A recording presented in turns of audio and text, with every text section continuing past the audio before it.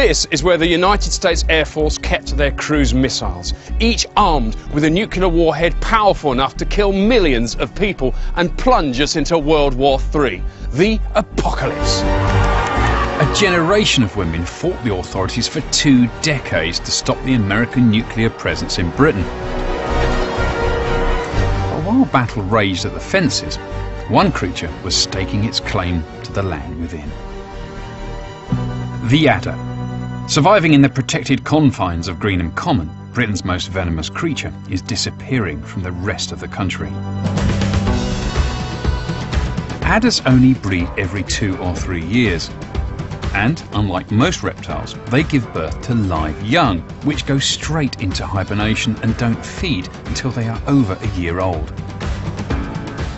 Like all boys, I was obsessed with snakes. There's something mechanical about them. Every scale fits together so beautifully. So one day the inevitable happens. I had to touch one and I got bitten.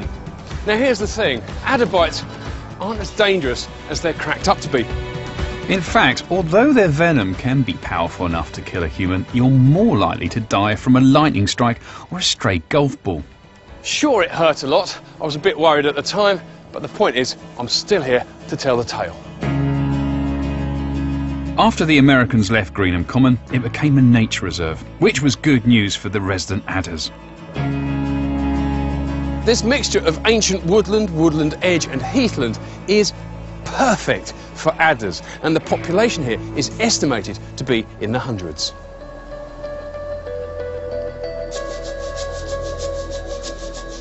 With adders declining in the rest of the country, the Greenham Common Trust is working to keep their population here healthy.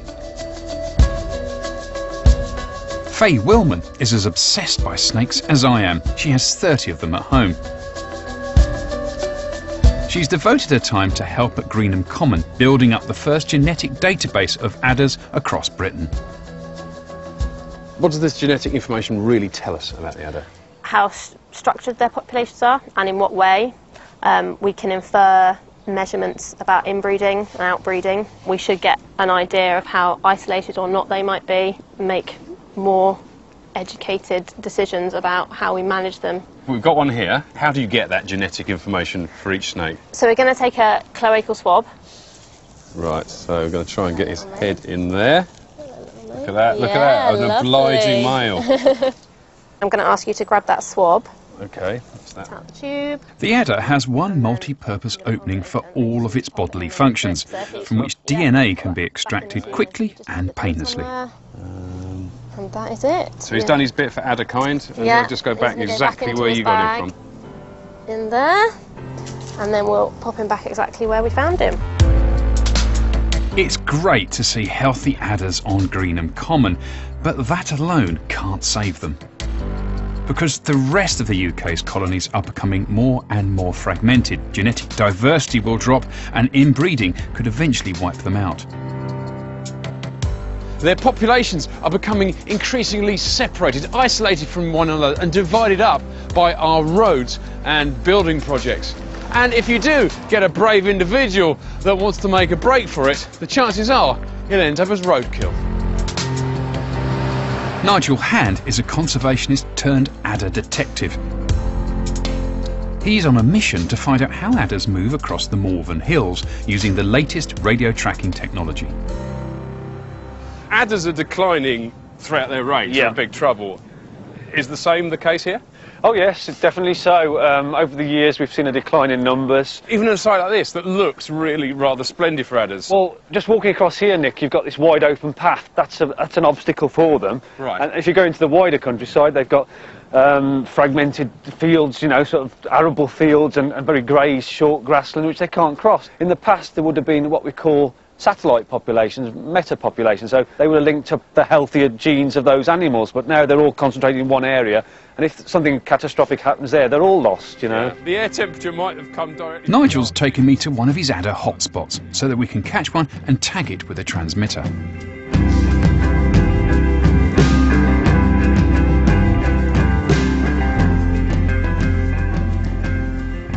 Right at the back. kidding me. No, no. It's very calm the way you introduce that to Yeah. conversation. Oh, there, there, look, look, look, look, look. Go at. This is what I love about adders is if you want an animal that is so matched to its environment, you don't get much better. It looks like the bracken. Any bit of this bracken kind of mirrors the patterns, or the adder mirrors the patterns of, these, of its environment. And this nice crisp bed of bracken is warming up, it's picking up those tiny little bits of heat from the sun, and this is what the adder is making the most of. If you find an adder, don't pick it up. Leave that to the experts. Look at that. Now you're looking at the face of the adder. It's the only one of our snakes that has that cat-like eye. As very few people get close enough to see these particular details. And his permanent frown, which is created by a ridge of scales over the eye. This is the animal we are all so fearful of. And all he wants to do is get away from me. I know. Now, we can't tag this male because it will soon be shedding its skin as it's just come out of hibernation. But a few metres away, we're lucky enough to find a female we can tag. Oh, that's 49 at least. That's a, that's a good sized breeding animal, isn't it? This doesn't do the snake any harm, so while I carefully hold it, Nigel can attach a transmitter. So, what is this tag going to be doing? It's going to be giving a signal, Nick, uh, on a regular basis. We'll be up here every two, two days or so and just tracking the movements and GPS monitoring where the snake's positions are at every time we we find in the snake. We just see that tiny little window into their world and it gives us insight. I think that's what's really important. Insight in how this animal lives, how it moves about. And that is the whole point because without that information you can't even begin to understand it and look after it. There she goes, one live lovely, ready to divulge her secrets to the scientific community. If you are lucky enough to come across an adder, report it to your local wildlife trust and ask if you can get involved as a volunteer. Now, hopefully, by now, you're beginning to, I guess, understand why I get so excited by adders. It's that same feeling I've got ever since I first saw one as a small boy. I guess what's really sad for me, what's really poignant about this animal is that we are in real risk of losing them. Day by day, they get rarer and rarer. And uh, it's thanks to the dedication of some pretty committed individuals that this beautiful creature has any hope in our future at all.